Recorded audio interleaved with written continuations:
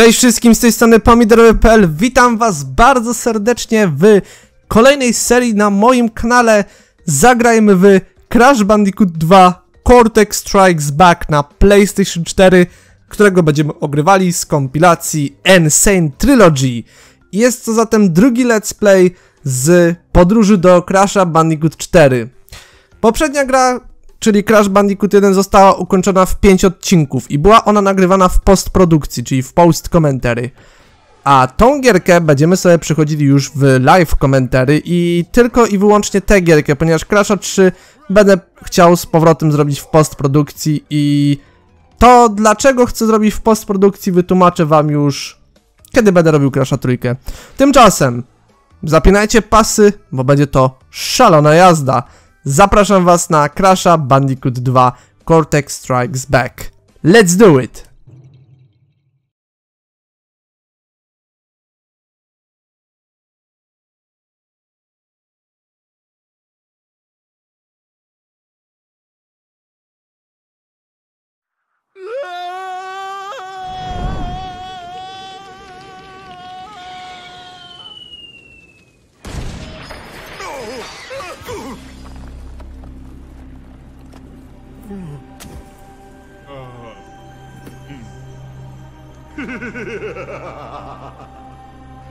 Crystals. Of course. No! Rok później. Zapamiętajcie to, że to jest rok później. But Dr. Cortex, to reach full power, we need not only your master crystal, but also the remaining 25 slave crystals from the surface. How do you expect to retrieve them when we don't have any Earthbound operatives left? You fool! Do you think I'm unaware of the situation? If we don't have any friends left on the surface, then we'll need to find an enemy.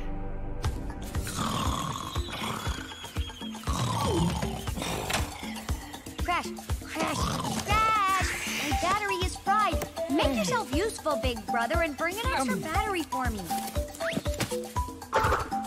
No i dobra, jesteśmy z, tutaj z powrotem po cutscence. Wszystko jest tak jak było, tylko z tą różnicą, że wszystko ładniej teraz wygląda graficznie. Więc w dużym skrócie, Dr. Neocortex po wydarzeniach z Crasha 1 spadł do jaskini, gdzie odkrył jeden wielki Master Crystal i potem jego asystent, czyli Dr. Engine, powiedział mu, że można zlokalizować 24 kryształy typu Slave, czyli mniejsze, więc Crash, a raczej, przepraszam, Cortex chce tutaj wykorzystać, żeby zebrać całe 25 kryształów. E, chce skorzystać z czyjejś pomocy. No i komu może zaufać, jak nie swojemu największemu wrogowi, czyli w tym wypadku Crashowi. No i teraz znajdujemy się na wyspie Insanity Beach, gdzie Crash i Coco sobie tutaj leżeli. Coco sobie przeglądała prawdopodobnie Bandipedię. No i okazało się, że laptop jej padł, więc poprosiła nas, żebyśmy znaleźli baterię, więc ruszamy, że tak powiem, na podbój dżungli i szukamy baterii w takim razie. Zobaczmy sobie, wszystko mamy podgłośnione, nic tutaj nie kasowałem, nic a nic. Dobra.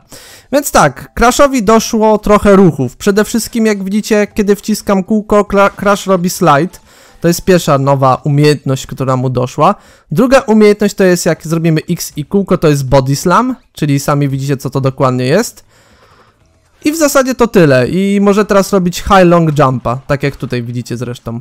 10 na 10 skrzynek, i praktycznie to by było na tyle z naszej podróży po poziomie intro. Przykre. No jesteśmy w, praktycznie w pewnym miejscu. Well, well, well.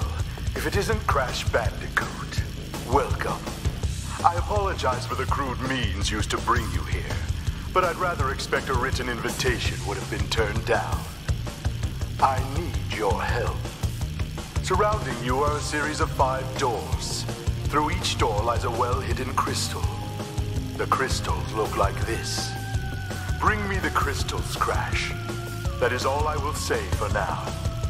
We will speak again. Więc jesteśmy sobie teraz w Warproomie, czyli w takim pokoju, gdzie będziemy mogli iść z poziomu do poziomu. No i Cortex nam tutaj tłumaczył, że świat nas potrzebuje, ponieważ Cortex odkrył właśnie Power Crystal i nasze zadanie to jest po prostu znalezienie 25 Power Crystal i jak my je znajdziemy, to Cortex po prostu będzie szczęśliwy. Więc w oryginale, za czasów oryginalnego Crasha dwójki, to to miejsce nazywało się Monty Hall i pierwotnie Cortex miał zwracać się na wprost ciebie, a nie do Crasha, no ale oczywiście się tego pozbyli, bo wiązało to ze sobą różne kontrowersje. Tutaj w oryginale, w oryginalnym Crashu dwójce byłby, byłaby ściana zapisu. No i tak, mamy tutaj poziomy od 1 do 5. No i co, bez zbędnego przedłużenia lecimy sobie z pierwszym poziomem, jakim jest Turtle Woods. No i zaczynamy sobie poziomik Turtle Woods. W tym let's playu w ogóle nie będę grał Koko, a jak już będę grał Koko, to tylko i wyłącznie w czasówkach, które prawdopodobnie również wam przyspieszę w montażu, no bo stwierdziłem, że Crash 1 i 2 w oryginałach nie mieli swoich e, reliktów, więc nie widzę sensu, żeby coś takiego robić. No dobra, to teraz zrobimy jedną rzecz. Wyjdziemy sobie z poziomu i posłuchamy sobie, co Cortex będzie miał do powiedzenia. Oj, chyba nie będzie zadowolony z tego, że tak szybko podjęliśmy decyzję wyjścia. Oj, nie będzie. No, no, no, Crash. I said bring me the crystals. Now, get back in there. No, nie był on zadowolony, więc róbmy tak jeszcze raz. A powkurzajmy Cortexa, co nam szkodzi.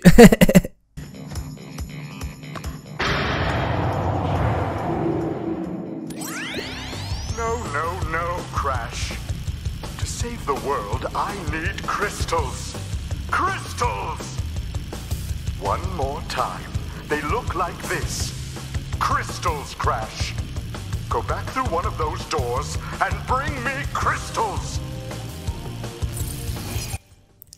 To było moje ulubione zajęcie za dzieciaka i myślę, że jeszcze raz będzie można tak zrobić, bo czemu by nie? Róbmy tak, jak najwięcej razy. Więc proszę bardzo, wy, wychodzimy stąd, nie ma to tamto. Niech zob- zobaczmy, co się teraz stanie. Za trzecim razem.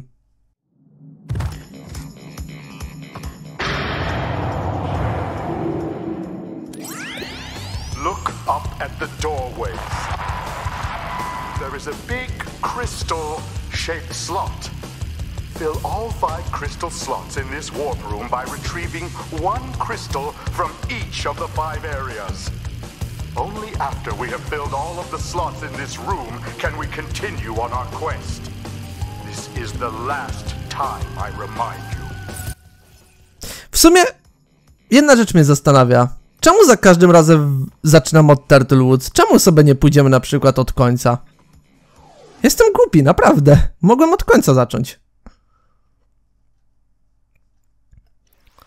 Więc dobra, czas na pierwszy poziom w końcu w tym let's playu, czyli Crash Dash. I tutaj już mamy pierwszą podpowiedź, żebyśmy lewym analogiem biegli praktycznie przed siebie oraz kółko, czyli slajdowanie, ponieważ jest to poziom pościgowy. Tak jak pamiętacie w Crashu 1 w Insane Trilogy, jak i w oryginale, goniła nas ogromna kamienna kula. No i tutaj też nas goni ogromna kamienna kula, tylko z tą różnicą, że goni nas po terenie zimowym, czyli ma tutaj malutkie elementy śniegu. Więc teraz tak, będziemy sobie przed nią uciekali i oczywiście gierkę będziemy robili na 100% plus jeszcze relikty, które również zagoszczą. I nie mam tutaj jakby jakiegoś swojego liczniku, że ej, robię wszystkie relikty oprócz szafirowych, tylko że jeżeli będzie poziom, którego nie lubię, na przykład Cold Hard Crash albo Digging It, to jeżeli w tych poziomach przypadkowo zdobędę szafir i będę miał po prostu dość patrzenia na te poziomy, to po prostu w dużym skrócie stwierdzę, pierdziele, nie robię i nie będę robił tutaj ani golda, ani platyny, ponieważ doszedłem do wniosku, że to jest głupia zasada, żeby robić coś takiego, bo nie ukrywajmy, ale nie mam na to ani ochoty, ani na razie czasu, żeby jeszcze bawić się w wszystkie platyny, bo to jest czasochłonne, uwierzcie mi. Ja dałbym sobie z tym radę, ale prawdę mówiąc, nie chcę tego robić, bo chcę jakby wyrobić się z całą drogą, a raczej podróżą do Crasha 4 jeszcze przed Crashem 4, żeby nie było, że o, będę się z tym tak guzdrał, że sobie zrobię przerwę od gierki czy coś. No ale tutaj mamy teraz rundy bonusowe. Jak widzicie nie ma już rund bonusowych z Tauną. Ogólnie z Tauną Bandicoot wyszła dosyć ciekawa kontrowersja. To powiedziałem bodajże też w oryginalnym Crashu 2, ale powiem to tu i teraz. Otóż w latach 90., kiedy praktycznie Crash 1 miał swoją premierę przed premierą Crasha 2, to Tauna była bardzo kontrowersyjna. Mianowicie, dlaczego była ona kontrowersyjna? Otóż e, krytycy, jak i fani stwierdzili, że Tauna jest zbyt seksowna na takiego głupiego protagonista, jakim jest Crash. No i Naughty Dog, żeby jakoś uratować sytuację, żeby, no nie wiem, gierka, gierka z dupy nie, nie dostała raptem oceny, nie wiem, 18 plus czy coś, bo wiecie, jednak szczucie cycem i tak dalej, to jednak zrobili coś takiego, że fabularnie wytłumaczyli, że Pinstripe tak naprawdę, nie wiem, że Tauna poleciała na Pinstripe'a dlatego, że Pinstripe, wiecie, jest bogaty, mafioza i tak dalej, czyli fakt, czemu ciągle spadam do tej dziury?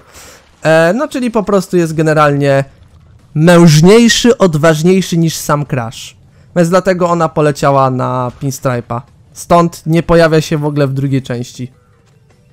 Taka mini kontrowersja wyszła z e, naszą Towną Bandicoot. Czy słusznie, czy nie, nie mnie to oceniać, ale mogę przyznać, że w latach 90. niektórzy po prostu mieli trochę coś z deklem. Że o coś takiego się przysrali, mym skromnym zdaniem. No i dobra, mamy kryształ i klejnot. Prawie 100%, no bo jeszcze relikt, tak więc spoko luz. No, i teraz sobie czekamy na to, co się będzie, co będzie miało miejsce. Crash widzę, że tutaj wypluł. Mamy już autosejwika i z ucha wyjął klejnot. Oczywiście kultowy taniec, którego również wam pokażę w Crashu trójce w ramach przypomnienia. Well done, Crash. I knew I could rely on you. Now listen carefully. These holograms are hard to maintain. During the course of my intellectual pursuits, I have stumbled across a force that threatens to destroy the world. The crystals are the only means of containing it. The fate of the world is at stake. It is imperative, therefore, that you bring them to me. Are you there, Crash?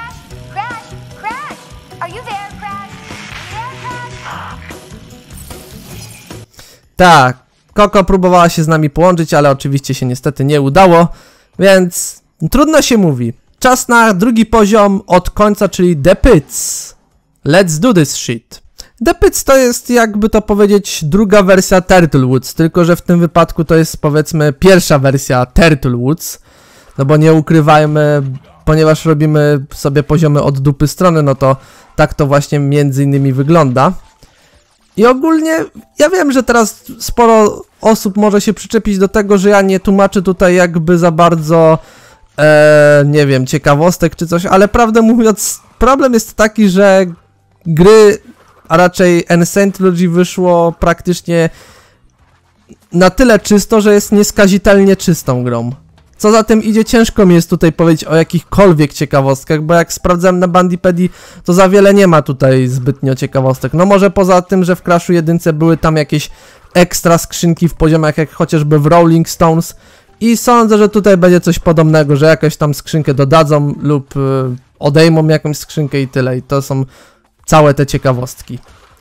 Ten poziom jakby polega też na tym, żebyś tutaj e, szedł najpierw w lewą stronę, ponieważ macie tutaj, przed chwilą mieliście skrzynkę z wykrzyknikiem, która aktywuje skrzynki po prawej stronie, czyli na tym drugim rozwidleniu. Co za tym idzie też Wikipedia przetłumaczyła tę ciekawostkę na to, że ten poziom ma jakąś taką swoją głęboką więź, że wiecie, że tutaj jest dokonywanie wyborów, że jak pójdziesz w lewą stronę, to technicznie dokonasz dobrego wyboru, a jak pójdziesz w prawą, to technicznie złego, bo będziesz miał przezroczyste skrzynki i zero kryształów, więc nie wiem, co Bandipedia ćpała, ale szczerze tak oni to przetłumaczyli, jak ja se też tłumaczyłem e, moim, że tak powiem, angielskim. Chyba, że twórcy w, e, w, na Bandipedii są troszeczkę, no, lekko mówiąc, upośledzeni. Co oczywiście nie chcę ich tutaj w żadnym wypadku obrażać czy coś, ale tylko takie odnoszę wrażenie, skoro piszą, że o, to jest wybór do, jak pójdziesz w lewo, to dokonałeś dobry wybór, jak pójdziesz w prawo, to dokonałeś złego wyboru. Wczoraj w ogóle robiłem e, materiał, pogadankę na temat właśnie Crasha 4, bo powychodziły jakieś różne rzeczy. Dzisiaj również e, dostaniecie tego samego dnia drugą pogadankę, bo ja to nagrywam 7 sierpnia. Wy to będziecie w tygodniu widzieli, no bo w końcu wiecie, no. Jak to się, jak to się mawia, Crash 1 już jest skończony, więc teraz czas szybko dwójkę zrobić i trójeczkę, żeby potem już mieć czystą drogę do Crasha Bandicoot 4 It's About Time. Jak widzicie, nie musiałem wcale tutaj być z tymi pancernikami. Mogłem sobie po prostu zrobić High Long Jumpa, którego wam właśnie przedstawiłem. Kombinacja z High Long Jumpem wygląda następująco. Robisz slide, kwadrat i x, albo x kwadrat, coś takiego. I dzięki czemu masz High Long Jumpa. I nie musisz się o nic martwić. Bo dzięki temu unikniesz niepotrzebne przeszkody. 17 na 23, czyli jeszcze niedużo skrzynek nam zostało.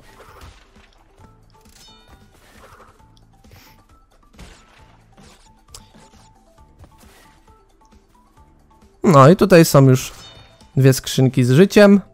Oczywiście, że tak. I myk, i myk. Proszę bardzo.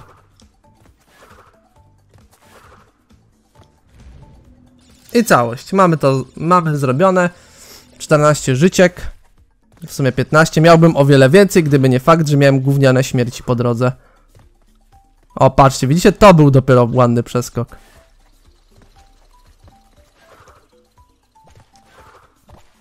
No.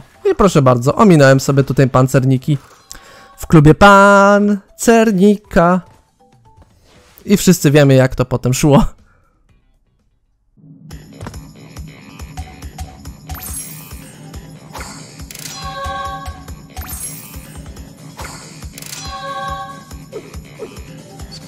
Dobra, taniec widzieliśmy, więc możemy sobie go przewinąć.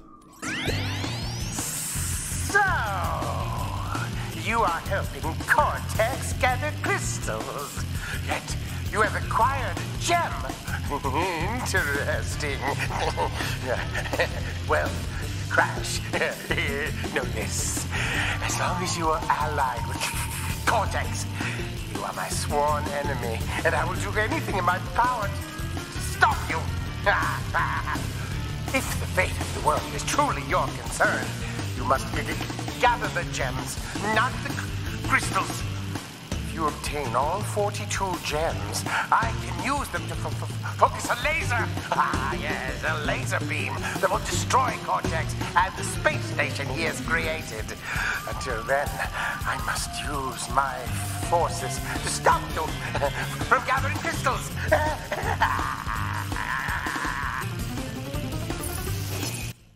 Ta, Embryo teraz zerwał współpracę z doktorem Neocortex, ale o tym to wam opowiem za chwilę w Turtle Woods już tak oficjalnie. Lećmy już z tym pierwszym poziomem. Więc tak, doktor Neocortex i Embryo pomiędzy jedynką a dwójką się pokłócili między sobą. Nie wiem o co dokładnie poszło, wiem tylko teraz, że Embryo przestał być lojalny dla Cortexa i stał się jakby jego wrogiem i kazał nam zbierać klejnoty, żebyśmy się Cortexa pod żadnym pozorem nie słuchali, tylko zbierali klejnoty, a nie kryształy, ponieważ klejnoty są ważniejsze, mają większą moc i tak dalej. I jeżeli będziemy zbierali kryształy, to Embryo będzie na nas wysyłał przeciwników i nie chodzi o tych przeciwników, co teraz tutaj są na poziomie, tylko o przeciwników w postaci bossów, z którymi będziemy walczyć, ponieważ ponieważ e, pomagamy Cortexowi, to z automatu stajemy się wrogami en Embryo. Dokładnie tak, to chciałem powiedzieć.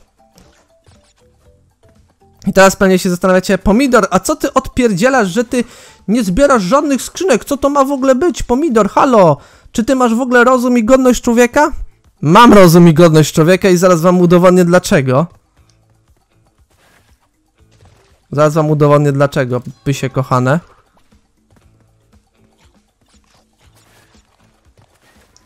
Proszę bardzo. Nie zabrałem żadnej skrzynki i ma tutaj na nas czeka niebieski klejnot. Tak, żeby zdobyć niebieski klejnot w tym poziomie, to nie zdobywaj żadnej skrzynki. Jeżeli jakąkolwiek jedną skrzynkę zniszczysz i pójdziesz na sam koniec, to będziesz miał ujemny licznik. Przynajmniej tak było w oryginale. Nie wiem jak jest w Insane Trilogy. Prawdopodobnie w Insane Trilogy tego nie ma i prawdopodobnie w Insane Trilogy masz po prostu licznik, ile ci tam skrzynek zabrakło.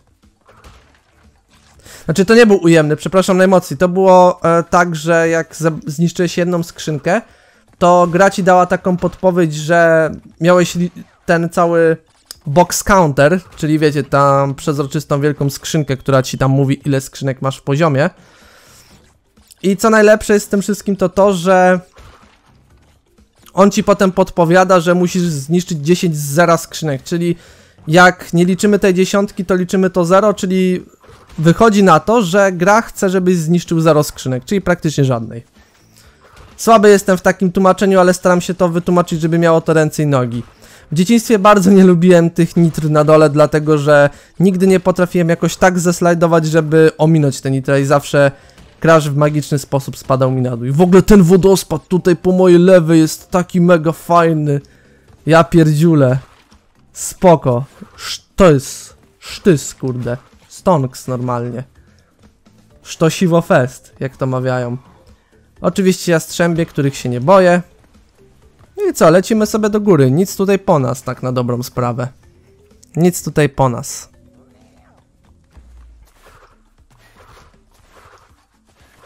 I lecimy z koksem. Na samiutki koniec. No teraz akurat mamy licznik tutaj skrzynek, więc Saint Logi wprowadziło tak zwane ułatwienie, no bo jak graliście w oryginalnego Crasha dwójkę, to no ciężko było dostrzec jakikolwiek licznik skrzynek. Ponieważ no nie było liczniku skrzynek, znaczy on był, ale zawsze na samym końcu, więc musiałeś się domyśleć ile skrzynek masz do zniszczenia.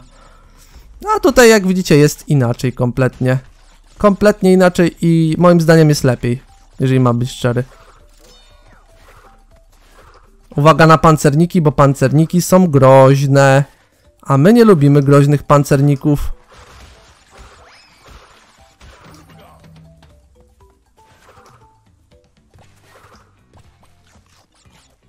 O, o. A, tam są owoce łampa, to bez sensu. Nie, bo w oryginale fajne było to, jak tutaj było życie ogólnie. Tak lepiej było, moim skromnym zdaniem. No i tutaj też było życie w oryginale, ale w Insane Trilogy zabrali żyćko. Nie fair.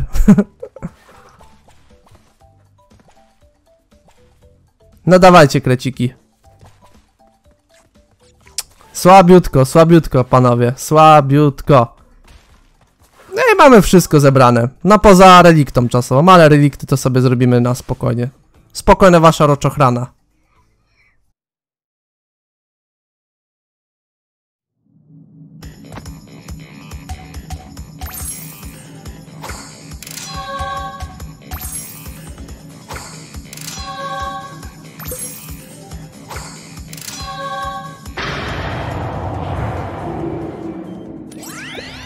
Three crystals.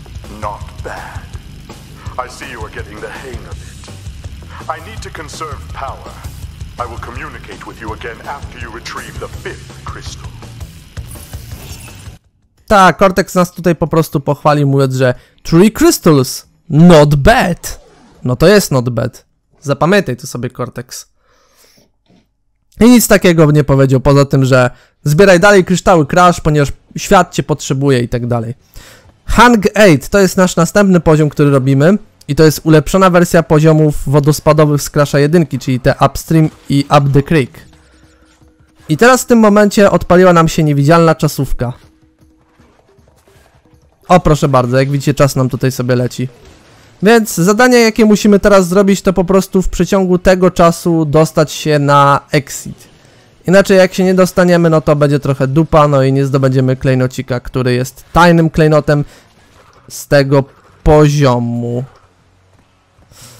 Oj, będę musiał powtarzać cały level od zera, ale dobra, trudno, najwyżej zrobimy go legit. No i już dupa, nie zrobimy go legit. Bo czas się tutaj nam nie pokaże już. Ja pierdzielę najgorzej. Po co ja niszczyłem ten checkpoint? Nie wiem czemu moi drodzy, ale odnoszę wrażenie, że jakoś w Insane Trilogy gra się troszeczkę szybciej. W sensie odnoszę wrażenie, że Crash jest szybszy niż w oryginale. Co za tym idzie, te poziomy wydają się bardzo krótkie względem tego, co było w oryginalnym Crashu dwójce. Takie moje dziwne wrażenie. Mogę się oczywiście mylić, ale Odniosę, odniosłem takie wrażenie, że te pierwsze przynajmniej poziomy wydają się trochę krótsze niż w oryginale, mimo że one po prostu tylko graficznie lepiej wyglądają. Ale ten wodospad, ja pierdzielę, ale to ładnie wygląda. Nie, ja lubię bardzo takie widoczki w Crashu. Fuck! Najgorzej! Powiem wam szczerze, że odnoszę takie dziwne wrażenie, jeżeli chodzi o Crasha, że jakoś tak Crash jest szybszy w Insane Trilogy, w sensie w dwójce. Bo tak jakoś, jak pamiętam, jak grałem Crashem, to wydawało mi się, że te poziomy trochę były dłuższe z tego względu, że Crash był trochę wolniejszy. Nie wiem, odnoszę takie dziwne wrażenie, że Crash tutaj w Insane Trilogy jest po prostu szybszy. Mogę się oczywiście mylić. Nie jestem idealny. Ale... Śmieszna sprawa, nie powiem, że nie.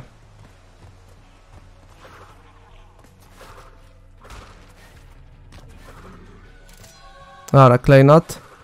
Hipcie. Hipcie w ogóle tutaj mega realistycznie wyglądają, nie? Względem tego, co było w oryginalnym Crashu 2, to, to tutaj to jest pełen realizm. A ta woda w ogóle, ja pierdziule. Mega sztosiwo konkret. Obym zdążył, kurde, bo będzie lipa, jak nie zdążę. Jest, mamy to. Teraz możemy ginąć i lecimy dalej, już legit z poziomem, zbierając wszystkie skrzynki. Oh yeah.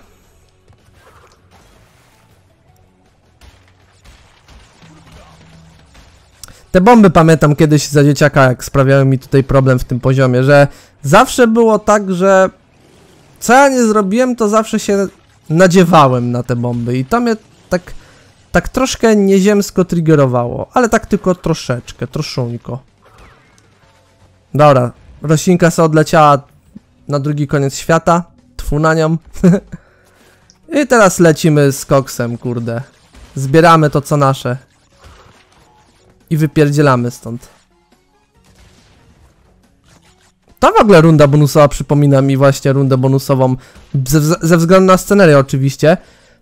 Przypomina mi rundę bonusową z Crasha właśnie jedynki, gdzie Tauna była na samym końcu.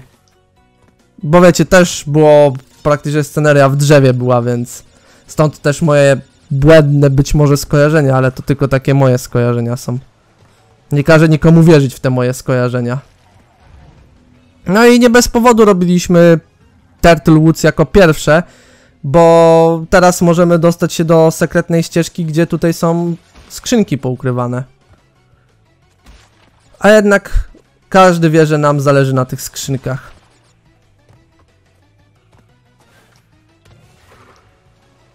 O, tutaj kamienie jeszcze na dole, kurde. A z chęcią bym się chciał pojawić w tej gierce i normalnie tam pozwiedzać te scenerie, bo naprawdę to wszystko w tak piękny, realistyczny sposób jest zrobione, że ciężko tutaj wysnuć inne wnioski niż po prostu to wygląda zajebiście, no po prostu, no co ja wam mogę więcej powiedzieć. To wygląda po prostu świetnie wszystko. I uważam, że może nie jest to powiedzmy na tyle takie arcydzieło, że inne gry, nie wiem, chowają się graficznie przy takim Insane Trilogy, ale naprawdę, naprawdę jak na grę z Crashem, to to naprawdę zajebiście wygląda. Ja wiem, że ja się powtarzam, ale serio. Mega, mega robotę zrobili tutaj twórcy. Walić tą piranię. Hipcio, hipcia unikamy. A, będziemy mieli raczej wszystkie skrzynki. Tak, tutaj będzie 69 i potem będą 4 skrzynki bodajże na nas czekać. Tak. Tutaj 4 będą na nas czekać. I mamy wszystko. Wszystko! Wszyściutenieczko!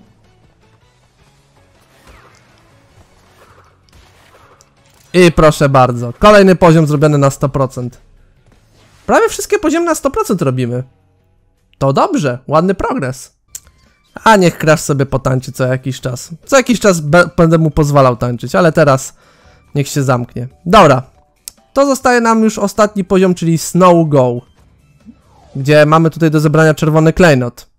I w sumie tutaj będzie pierwsza ciekawostka, moi drodzy, i to będzie ciekawostka gameplayowa, ale zanim tam dojdziemy, to jednak skupmy się na razie na początku Snow Go. A początek Snow Go właśnie wygląda tak, jak wygląda. Czyli praktycznie mamy poziom zimowy, w którym w zasadzie nic szczególnego się nie dzieje. W ogóle to jest pierwszy poziom zimowy w serii Crasha. Bo w Crashu jedynce nie było żadnych zimowych poziomów. Więc to jest pierwszy poziom taki. Tego typu. Uwaga na nitro. Nitroglicerynę.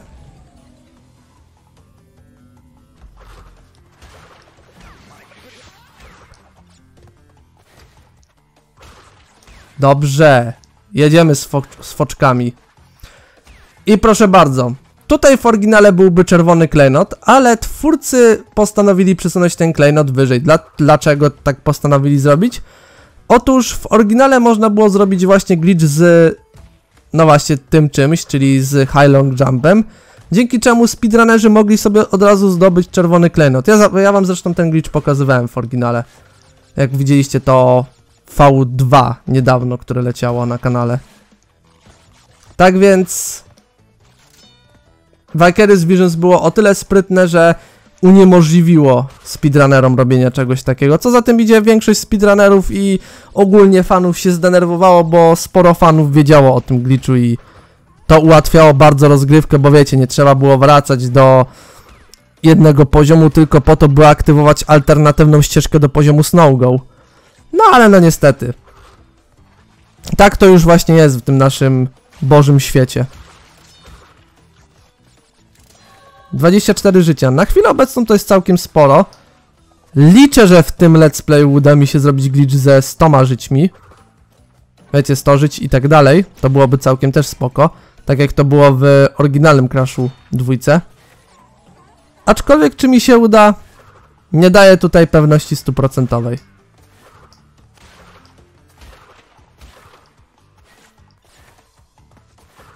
No. I tutaj ostatni klejnocik mamy zebrany. Więc możemy sobie stąd już wyjść. No i dobra. Jesteśmy z powrotem. Crash wyjmuje klejnot z dubska. I ch chce nam wyżygać klejnot. Nie wiem jakim cudem on zjadł klejnot i nie wiem dlaczego w krysztale... Nie wiem dlaczego w dupie trzymał kryształ, ale... Okej. Okay. No i dobra. Jak widzicie, nic tutaj nie wydarzyło się. Czyżby kolejna ciekawostka? Tak jest, moi kochani. Jest to kolejna ciekawostka, ale pozwólcie, że na chwilę obecną zdejmę okulary, bo trochę mnie denerwują. Swoją drogą, Crash, ładnie tańczysz. Eee, tak, jest to kolejna ciekawostka. Otóż w oryginale tutaj Cortex by nam tłumaczył działania tej oto pięknej windy, którą widzicie na samym środku. Ale jako, że bossowie nie są na samej górze przed następnym piętrem, to bossowie są tutaj, jako specjalne miejsce w Warp Roomie. Co za tym idzie, cutscenka z Cortexem, który tłumaczy działania windy została wykasowana z całego Insane Trilogy. Bywa i tak. Trudno się mówi, zapraszam na walkę z naszym pierwszym bossem i już mamy spoiler, kto, kim jest ten pierwszy boss, więc let's do it! A teraz założę sobie okularki i mamy tutaj per, proszę państwa, Reapera Rook czytającego sobie książki w cylindrze. Więc tak, moi kochani, to jest właśnie nasz pierwszy boss, Reaper Ru. Jak pamiętacie alternatywne zakończenie z Crasha 1, to przypomnę wam, że na napisach końcowych, kiedy uratowaliśmy Taunę przechodząc poziom The Great Hall, była wspominka, że Reaperu po wydarzeniach z Crasha 1 chciał trochę zmądrzeć, więc zapisał się na studia i zaczął studiować. Co mogliśmy zobaczyć to skrzynek, jakie czytał. Znaczy skrzynek, Jezu. Książek. Niestety dalej pozostał głupkowatym kangurem.